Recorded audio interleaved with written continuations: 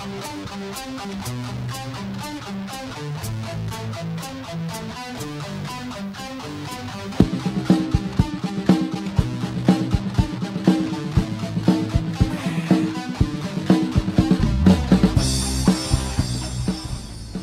ดีครับผม ผมรองนัทวัฒน์แสนบุญครับ บทเรียนต่อไปครับผม บทนี้เป็นบทที่ 29 นะครับผม เป็น fill 12ละนะฮะ fill 12 ก็คือยังอยู่ในคาเบ็ดไม่ใช่คาเบ็ดเลยยังอยู่ในการส่งหนึ่งจังหวะอยู่นะครับ แต่เป็นในรูปของเขบ็ตสองชั้นนะอ่านะครับผม fill 12นะอ่าก็ค่อยๆฝึกกันไปครับผมอ่าบทนี้นะครับอะเอาเลยนะ เห็นโน้ตมาใช่ไหมเอาโน้ตมาเอ่อมีสองห้องเหมือนเดิมครับให้เราฝึกสองห้องเหมือนเดิม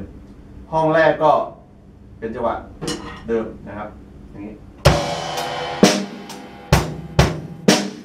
อ่านี่ห้องแรกนะ ห้องสองเราไปดู ไปดูตรงที่มันเป็นลูกส่งนะครับอ่าลูกส่งเนี่ย ผมจะตีครูจะตีอันนี้ ทอมหนึ่งสี่ตัวนะอ่าทอมหนึ่งสี่ตัวอ่าก็คือว่าเวลาเราตีมันเป็นคาเบตหนึ่งชั้น พอถึงส่งมันก็จะเร่งขึ้นนิดนึงอ่าโอเคนะครับเดี๋ยวเดี๋ยวคุณจะตีห้องส่งให้ดูห้องห้องส่งห้องสองนะอ่าอ่าส่งนะดึงดึงดึงช่อ่าเออน่าจะเข้าใจกันอะเราคุยตีช้าๆให้ดูอีกรอบนะครับ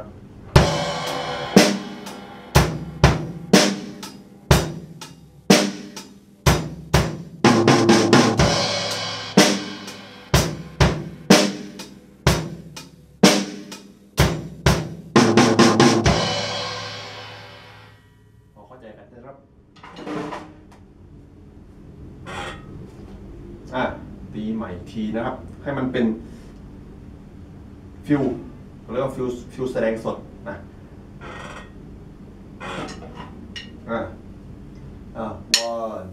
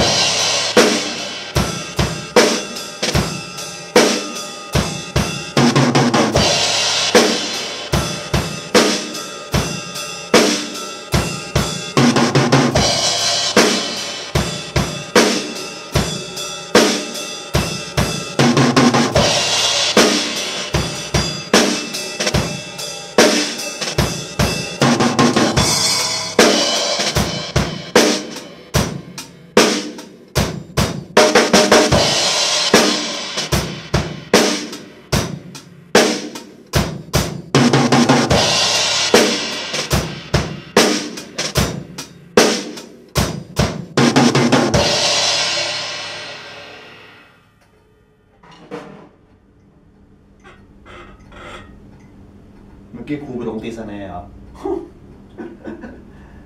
เดี๋ยวค่อยค่อยดูไม่เป็นไรครับ ก็ประมาณนี้นะครับก็คือทอมหนึ่งนะฮะสี่ตัวเลยนะครับผม ก็ไปฝึกกันครับผม ก็ค่อยๆไล่ฝึกทีละข้อไปนะครับ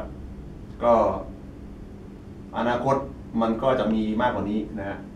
ต้องฝึกให้คล่องนะครับ เพราะว่าเวลามีเยอะเยอะเยอะมากขึ้นเนี่ย มันก็จะตีไม่ทันแล้วนะอะโอเคครับผม เจอกันบทต่อไปครับ บทนี้ก็สบายๆนะ เจอกันครับ สวัสดีครับ